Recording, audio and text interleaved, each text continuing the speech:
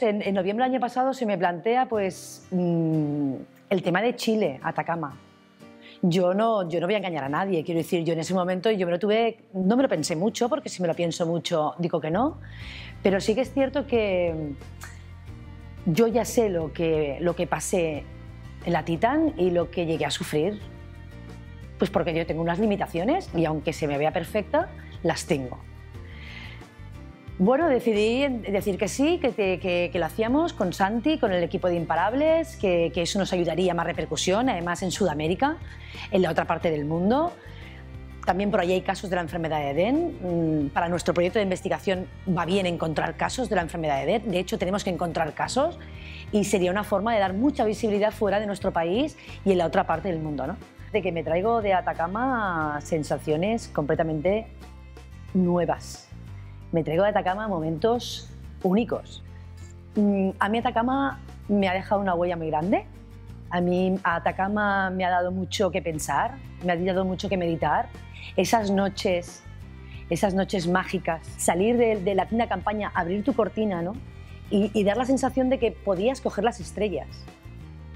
Eso no me lo va a quitar nadie. O sea, mis, mis retinas no creo que vean imágenes como esas jamás. Pensaba que iba a vivir momentos y situaciones que ya había vivido en, en la Titan Desert. Yo estuve en una carrera de seis días por etapas y sin embargo han sido sensaciones muy dispares, muy distintas.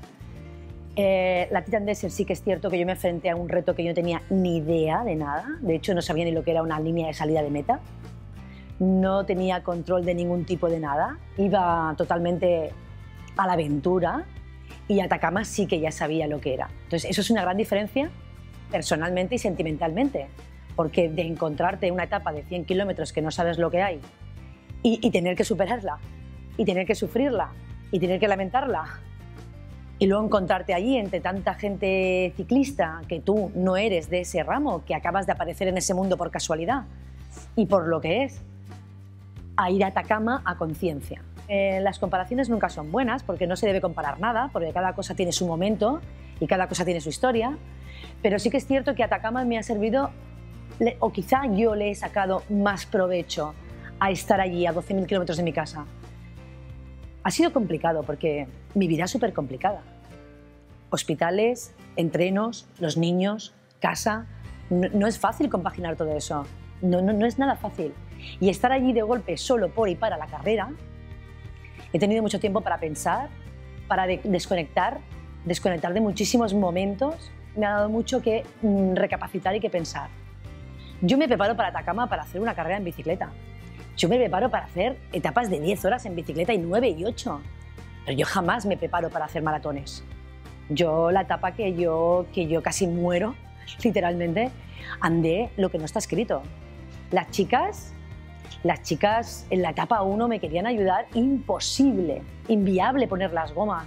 Poníamos las gomas y en menos de un kilómetro teníamos que soltarlas. Recuerdo perfectamente a Sandra Santañez diciendo, pero ¿qué es esto? Es que no te podemos ni ayudar. Qué impotencia, ¿no?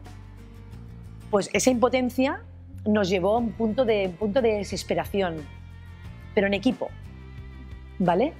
En equipo, o sea, estábamos completamente unidas y las tres sabíamos que había un problema, que es que ellas dos iban a ayudar a Eva, pero es que a Eva no se le podía ayudar porque el terreno no lo permitía. La verdad es que para mí la carrera no ha sido dura, ha sido lo siguiente, pero he tenido una, una contrapartida en Atacama, que ha sido el apoyo que he recibido. A pesar de estar a 12.000 kilómetros de mi gente, de mi casa, de mi gente más cercana, pues tengo la suerte de conocer, a- de, de- de tener allí en Atacama a Nuria Sánchez.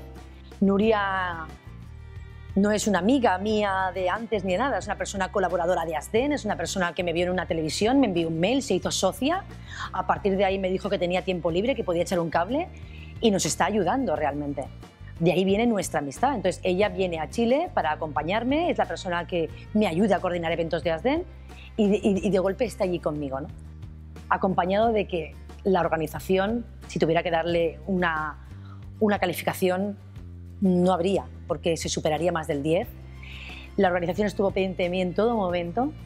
Cristóbal, el médico, brutal. De hecho, ahora que estoy en España ya he recibido mail preguntándome cómo sigo, cómo estoy. Y la verdad es que, es que ese sentimiento, eh, ese respaldo del equipo, ¿no?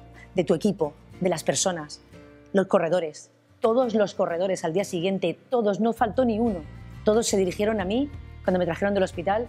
¿Qué pasa? ¿Cómo estás, Eva? ¿Cómo te encuentras?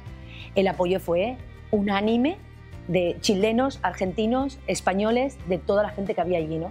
Con lo cual, sentirme sola no me sentí en ningún momento. Muy bonito, muy duro, muy bonito. Pero a veces estas cosas van bien, ¿no? Porque la vida es compleja. A veces te propones algo en tu vida y no sale como tú quieres, ¿no? Pues realmente quizás lo que me ha pasado a mí. Me, me he planteado hacer una historia y no ha salido como yo he querido. Ojo, no ha salido como, no, como yo he querido la carrera. De seis etapas he podido hacer cuatro solo. Pero el objetivo al que yo iba a Atacama lo he cumplido. Porque esto me ha llevado a dar más visibilidad a ASDEN y a la enfermedad de EDEN en Sudamérica. De hecho, tenemos un correo de un papá de Costa Rica que me ha visto haciendo la carrera y que su hijo tiene la enfermedad de EDEN. Ya hemos ganado. Ya tenemos localizado un DEN más fuera de nuestro ámbito. Eso me ha llevado a, un éxito rotundo en lo que yo me proponía. Evidentemente no soy finisher. De seis días he pedaleado cuatro.